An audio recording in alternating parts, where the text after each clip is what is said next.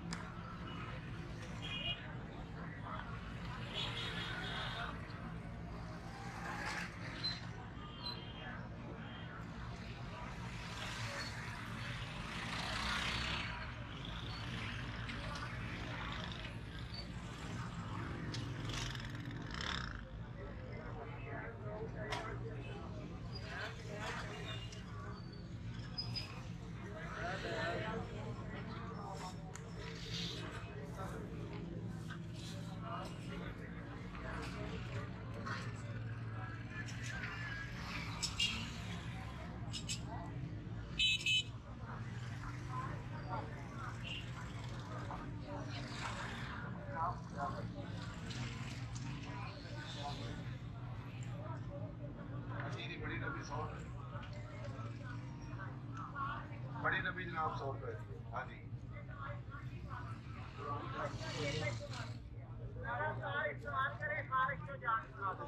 ਕੰਨ ਵਗਦਾ ਡੁੱਲਦਾ ਕੰਨ ਚੋਂ ਰੇਸ਼ਾ ਚੱਲਦਾ? ਕੰਨਾਂ ਅੱਗੇ ਚੱਪੇ ਆ ਗਏ ਨੇ, ਘਟ ਪਾਉਂਦਾ। ਕੰਨ ਸਾਫ਼ ਕਰਕੇ ਇੱਕ ਦੂਸਰੇ ਦਵਾਈ ਦੇ ਪਾ ਦੇ